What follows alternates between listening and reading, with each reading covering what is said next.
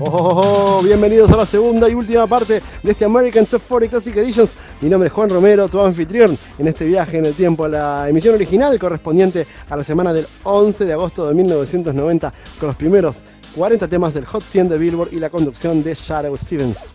Si te gusta este podcast, no olvides dejar tu like, comentar, suscribirte y si querés escuchar alguna edición en particular, algún programa especial, algún año en particular, tenemos muchos shows originales para compartir en esta versión en castellano del American Top 40 en sus ediciones clásicas. Ahora sí, continuamos con los 19 primeros temas de esta cuenta regresiva. American Top 40. Ooh, we're heading into the second half of our weekly wade through the hit-infested waters of the Billboard Pop Chart. I'm Shadow Jacques Nemo Stevens and this is American Top 40. se podía escuchar en radios de costa a costa de los Estados Unidos como esta. These new AT40 stations in Tawas City, East Tawas and Oscoda, Michigan. It's the Sunrise Sides Hit Music 107.3 FM WDBI. In Ardmore, Oklahoma, it's today's hits and yesterday's favorites KRDM 96.5 FM and in North Carolina, a hearty welcome to the information station WMYN in Mayodan and WLOE in Eden. Great to have you along with us on our way to number one. Este grupo vocal femenino oriundo de San Francisco llegó su primer hit al número 2 hace dos semanas atrás. Ahora se caen 10 lugares aquí al número 19. Estas son John Robinson, Terry Ellis, Cindy Herron, Maxine Jones. Juntas son En Vogue con su tema Hold On. From their album Born to Sing, that's Desde su álbum Born to Sing eran las En Vogue con Hold On, cayendo 10 lugares al número 19 y de un grupo de chicas a otra chica. Ahora vamos al primer top 40 hit de una cantante nacida en Harlem, Nueva York, criada en Detroit, Michigan y ahora viviendo en, Los Ángeles. Se llama Tyler Collins. Cae 12 lugares del número 6 al número 18 con su tema Girls Night Out. Here's Girls Night Out by Tyler Collins. That's Tyler Collins and Girls Night chicas, Cantaba Tyler Collins, que había hecho pico en el número 6 la semana anterior y ahora aterriza aquí al número 18. Hi, it's Wendy and Carney and China from, Wilson Phillips, and this is American Top 40. Hey Shadow, where's our hit on this week's Billboard chart? You know, quite Hola chicas, aquí está el sucesor de su número 1, Hold On, número 17 para las Winston Phillips, Libérame. Here's Release Me by Wilson Phillips. Era Release Me de Wilson Phillips, cayendo 6 lugares al número 17. Esto es el American Top 40 después de la pausa, un AT40 flashback al año en que Frank Zappa fue a Washington representando al rock and roll. Mr. Zappa went to Washington in the name of rock and roll. The hit from coast to coast. American Top 40. Seguimos con el American Top 40 Classic Editions edición del 11 de agosto de 1990, ahora con el trío femenino Seduction y un tema compuesto por el productor y creador de este proyecto Robert Clevilles, número 16, Could This Be Love? Up to, to number 16, Could This Be Love? ¿Será esto amor? Preguntaban la Seduction, subiendo dos lugares del 18 al 16. 18 to number 16. Hi, this is Kelly Nichols. And Tracy Guns. We're LA Guns. Hey, Shadow, what do you say we hop into the Wayback Machine for an AT-40 flashback? Well, what are we waiting for? Muy bien, ahí los LA Guns nos invitaban a trasladarnos a otra edición anterior, a esta la que estamos presentando ahora, y aquí es donde nos trasladamos con la máquina del tiempo a nuestro AT40 Flashback. En este año, División Miami estaba en las pantallas de la televisión. El señor Frank Zappa viajaba a Washington para dar testimonio contra la censura en nombre del rock and roll. Era 1985. It was 1985. Y este era el top 5 en el American Top 40 la semana del 10 de agosto de 1985. these were the top 5 songs on American Top 40 5 years ago this very week. From number 5 to number one. And those were Billboard's top five songs five years y ese era el top 5 del Billboard Pop Singles Chart la semana del 10 de agosto del 85. Número 5, Hugh Lewis and the News con The Power of Love. Número 4, Corey Hart, Never Surrender. Número 3 para Sting, If You Love Somebody, Set Them Free. Número 2 para Paul Young, Every Time You Go Away. Y número 1 para Tears for Fears, Shout. Y eso, amigos, fue nuestro 8040 flashback del año 1985. Pero bueno, debemos regresar a nuestra edición actual. Volver de este viaje al 85 para seguir con nuestro conteo aquí en el 11 de agosto de 1990.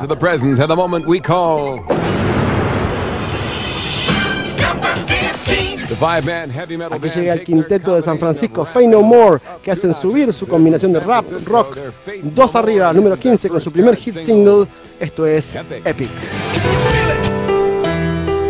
Desde su álbum titulado The Real Thing, era Fate No More quienes escribieron y coprodujeron este tema que se mueve dos lugares del 17 al número 15. Fate No More, Epic. Y nos quedan 14 temas. Ya volvemos. From their album The Real Thing, that's Faith No More and Epic. The band also wrote and co-produced the song, which moves up from 17 to number 15. I'm Shadow Stevens. The 14 biggest hits in the land are close at hand as American Top 40 continues in moments.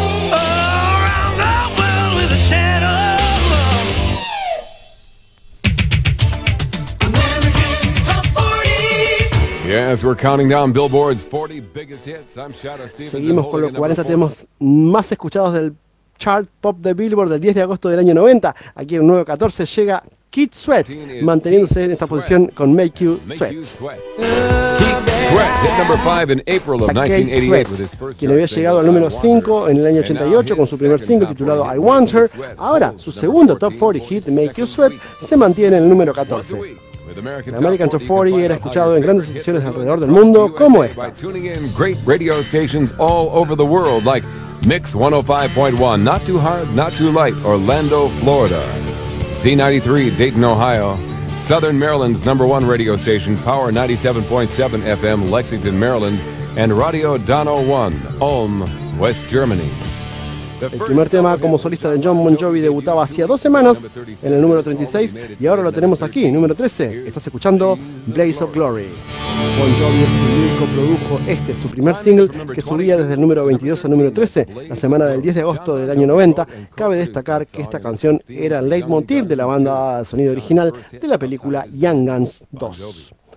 Estás escuchando en American Top 40 con Shadow Stevens, yo soy Juan Romero y cuando volvemos tenemos una dedicatoria a larga distancia de una mujer en Alabama al hombre de sus sueños.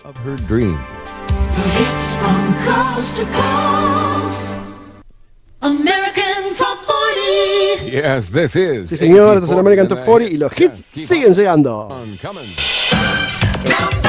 The second top 40 hit for the para el rapero más famoso del año 90. Aquí está MC Hammer. Have you seen her? Subiendo del número 19 al número 12 era MC Hammer con La Has Visto, desde su álbum número 1 del álbum chart esa misma semana titulado Por favor Hammer, no los lastimes. Yo soy Juan Romero, tu anfitrión en el HT40 y ahora una dedicatoria a larga distancia de una mujer que no se escribe. Querido Shadow, yo sé que probablemente recibís toneladas de cartas de adolescentes enamoradas que rompen con sus novios o algo así. Bueno, yo tengo 36 años y mi corazón también se está rompiendo. Seguro pensarás que a mi edad será fácil sobrellevar una situación así. pero supongo que a medida que nos hacemos más grandes, el dolor se pone peor. Al menos si sos un adolescente, tenés toda una vida para rehacerte y encontrar a alguien más. Pero cuando estás en mi edad, las chances se hacen pocas y quizás nunca puedas encontrar a alguien con quien puedas vibrar de la misma manera. Déjame contarte que desde el principio, hace un año atrás, conocí un hombre maravilloso, con un buen corazón, y todo lo que siempre busqué estaba en esa persona. Pasamos juntos los mejores momentos, momentos súper felices. Disfrutamos de salir, íbamos a pescar, camping, pasamos hermosos fines de semana en una cabaña de campo. Pero al cabo de un tiempo de vernos, él decidió que necesitaba un tiempo para ver qué sentía y qué quería hacer de su vida y con nuestra relación. Y a pesar de que lo entendía, ya que él había estado casado 14 años, pero nunca había disfrutado de un tipo de experiencia como la que tuvimos juntos, todavía me duele toda esta situación, ya que no sé si conoceré a alguien más como esta persona maravillosa. Me resigné a la idea de que quizá nunca funcione y que decida que no quiere ni mi amor ni tener una relación formal nueva, pero los recuerdos de todos los buenos momentos que pasamos aún quedan y quedarán en mi corazón y en mi mente. A pesar de que solo vivimos a 40 kilómetros el uno del otro, mi dedicatoria, larga distancia, no conoce de distancias ni kilómetros, sino en distancias físicas y en mi saber, que quizás nunca nos volvamos a ver. Así que Shadow, ¿podrías pasar El amor te traerá de vuelta por Taylor Dane para Mike en West Tomska, Alabama, de Kay Francine en Prattville, Alabama? Ok, aquí está tu dedicatoria a la larga distancia. Era el número uno en abril del año 90. Um, Love Will Lead You Back por Taylor Dane, una dedicatoria a larga distancia de Cape desde Prattville, Alabama, a Mike en Winstomska, Alabama. Yo soy Juan Romero y estás escuchando la emisión original del American 40 correspondiente al 11 de agosto de 1990. Eh, ah, bueno, ahora seguimos con la cuenta regresiva. Esto es el HE40 y retomamos con el número 11. El grupo de Minneapolis, The Time, y su tema Jerk Out. Jerk Out. Ahí se va Jerk Out, el tema que marcó la reunión del grupo de Minneapolis The Time, que subían 5 lugares del número 16 al número 11. Y aquí nos hacemos una pregunta. ¿Cómo hizo un cantante adolescente hawaiano para ponerse en contacto con otro súper popular, pero que vive a 9.000 kilómetros de distancia y hacer un hit número 1? Muy bien, ese cantante hawaiano nos contará su historia cuando regresemos. Y así acabamos de desandar los primeros 30 temas, mis amigos. Estamos escuchando la American Top 40 Classic Editions, emisión del 11 de agosto de 1990. Nos quedan las 10 mejores canciones del pop chart de Billboard de esa histórica semana. No te vayas, que seguimos con nuestra búsqueda número uno. Ahora, ahora, ahora, no te puedo decir. ¡Ya volvemos!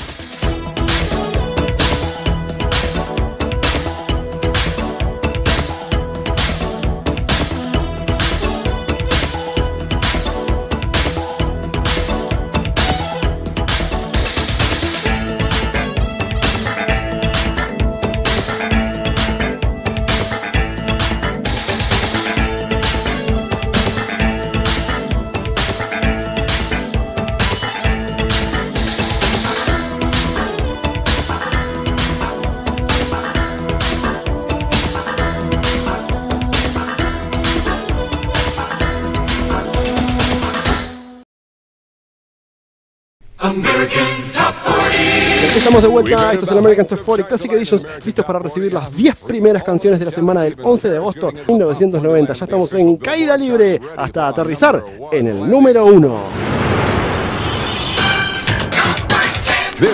Este trío es un desprendimiento del grupo New Edition. Este es su segundo Top 40 hit. El primero fue Poison, que se fue esta semana de chat. Y aquí está el número 10. Llega Bell Beep DeVoe, Do Me. Era Doomy por el trío Bell Beep DeVoe subiendo 5 lugares del número 15 al número 10. American 40 Classic Editions, Juan Romero y ahora vamos a contarte acerca de una colaboración entre un artista de Hawái con otro de Boston. A 9.000 kilómetros de distancia y cómo llegaron a conocerse. Esta es la historia de, cómo llegaron a grabar un hit número uno, el cantante melódico de Hawaii, Glenn Medeiros, con la superestrella del RB, Bobby Brown, que vive en Boston, y de cómo produjo el tema nada más y nada menos que Rick James, el autor de Super Freak. Allí se encontraron los tres en la casa de Glenn y aquí el mismo Glenn Medeiros nos cuenta cómo fue pasar de hacer canciones melódicas a darle un toque R&B a su música. Escúchenlo. That's great. It's really good. He thought that I had the voice for it and everything. He was really, you know, behind me 100%. And uh, he said, maybe I can help you a little bit. I said, what? And he said, you want to talk to Bobby on the phone? And I said, what? Bobby who? he said, you know, Bobby Brown. And I said, okay, okay, whatever. It's, you know, no sense, you know. so uh, he called him on the line and uh, I said, well, how you like to work with me on my new record? I told him.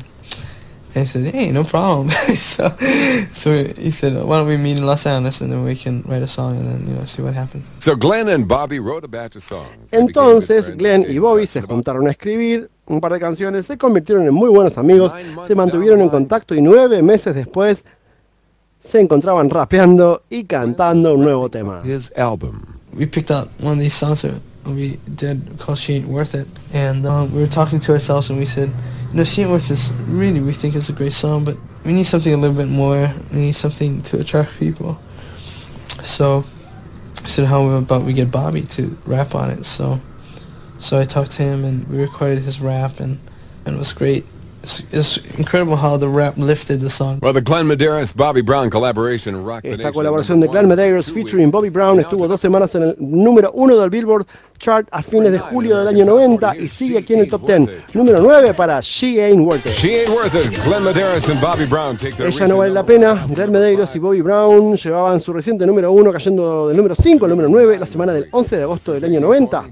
American Top 40 Classic Editions, yo soy Juan Romero y el número 8 nos encontramos a un dúo formado por Lo- eh, sí, en Londres en el año 78. Se llaman Go West con su primer tema en llegar al top 10. Esto es King of Wishful Thinking. Wishful thinking.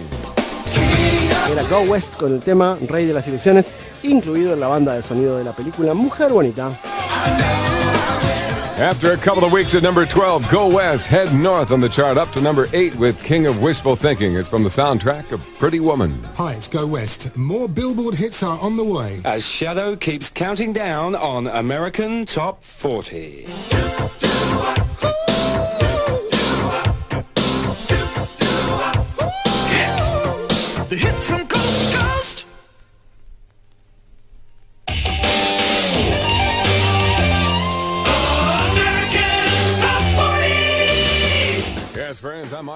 Y aquí, amigos míos, seguimos en la búsqueda número uno del Billboard ah, en la Amer- American Top 40 Classic Editions y ahora llega el turno de una banda que tuvo su primer número uno hace unos años con el tema Cada rosa tiene su espina, pero aquí llegan con un tema más rockero, más funky.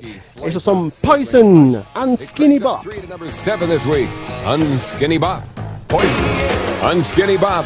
Poison. Unskinny Bop. Poison to a- Ahí se va Poison desde su disco Flesh and Blood con su séptimo Top 40 hit Unskinny Pop, subiendo tres posiciones del número 10 al número 7. All over the world from American Top 40 se podía escuchar en las mejores estaciones de radio de Estados Unidos y alrededor del mundo, como estas. 95.7 Hartford, Connecticut.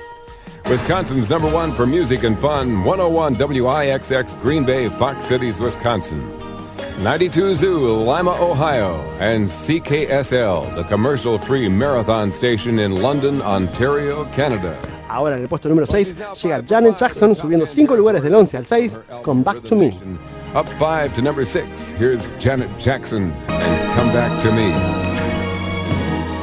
Janet Jackson. Era Janet Jackson con Come Back to Me. Subiendo 5 lugares al número 6. Es una de las 5 canciones interpretadas por mujeres en esta edición del American Top 40.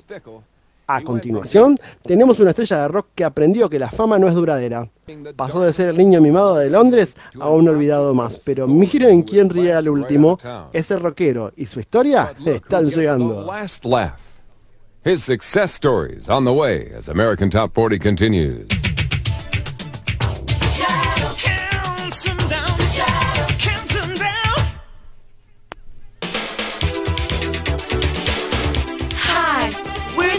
Sensation, and you're listening to the sensational Shadow Stevens on American Top 40. Ladies, you are truly gifted and ravishing. Y estas chicas que saludaban ocupan el puesto número 5 de la American Top 40. Aquí llegan Si los sueños se hicieron realidad. Las Sweet Sensation. Came true.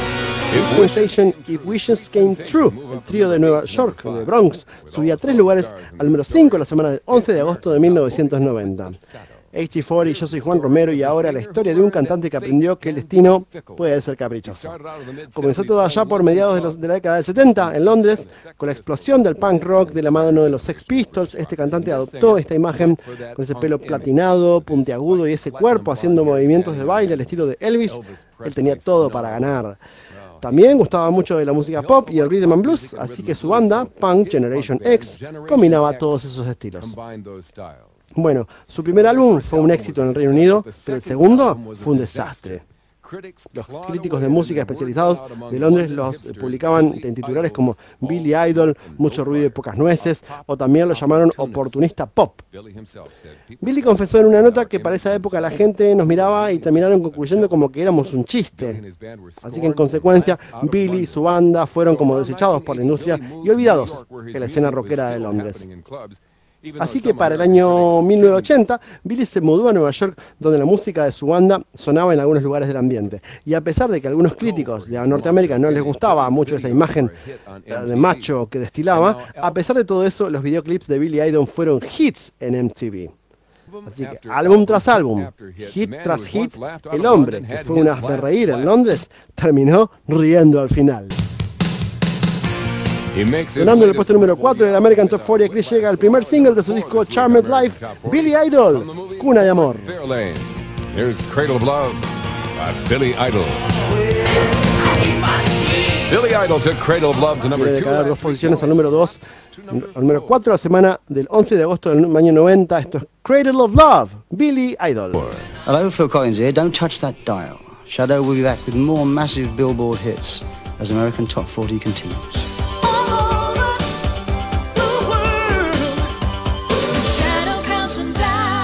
Estás escuchando el American Top 40 Classic Editions. Mi nombre es Juan Romero y esta es la versión editada del show. Aquí abajo en la descripción del video podés ir a la versión completa de esta edición original ahí en Mixcloud. Como sabes, YouTube no nos permite poner música porque si no nos bloquea el video por problemas de derechos de autor. Por eso solamente estás escuchando los bloques sin música. Ahora sí, seguimos.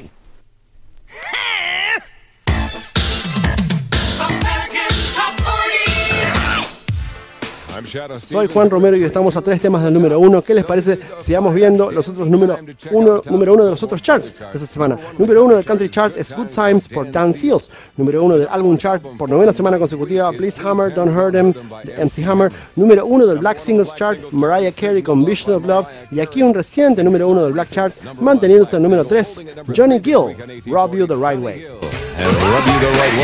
Johnny Gill spends the second week at number three with HT40 Classic Editions, Juan Romero contándote los 40 temas del eh, Pop Singles Chart de Billboard. Era Johnny Gill con su disco homónimo, manteniéndose en la se- en número 3 por segunda semana consecutiva. Esto era Rub You the Right Way. ¿Alguna vez vieron un cantante corista ocupar un, un segundo lugar en el fondo del escenario, ¿no? Y después pasar al frente, cantar solista.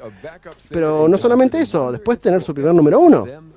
Bueno, aquí tenemos a una ex cantante corista oriunda de Nueva York que quería eso mismo. Y ahora tiene un número uno con su primer hit. Esa historia está llegando. stories coming up. Hits from coast to coast.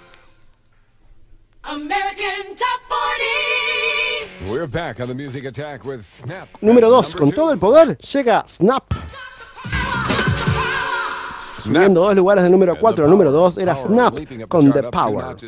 Estuviste sintonizando el American Top 40 Classic Edition semana del 11 de agosto del año 90 y hemos arribado a la marca de excelencia musical de esa semana para la industria de la música, el número 1. Y el artista que ocupa la posición de privilegio esta semana viene de trabajar cantando de fondo como corista, después pasó a cantar al frente y ahora está liderando los charts. En 1988, ella cantaba como corista para la mujer que cantaba este tema.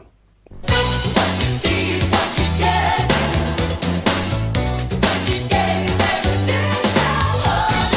de 1988 era What You See is What You Get por la cantante neoyorquina Brenda K. Starr.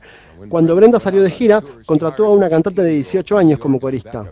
Y Brenda fue responsable de esa gran oportunidad que tuvo esta, esta corista. Brenda le pidió a esta cantante una copia de su cinta demo en una fiesta de la industria discográfica y se la dio al presidente de la compañía CBS por esa época, Tommy Motola. Y este hombre quedó tan impresionado por su voz que le ofreció a esta cantante un contrato discográfico. En ese momento, el año 90, tenía 20 años y llevó su primer hit directo al número uno. Por segunda semana consecutiva, el número uno del American Top 40, Vision of Love, Mariah Carey.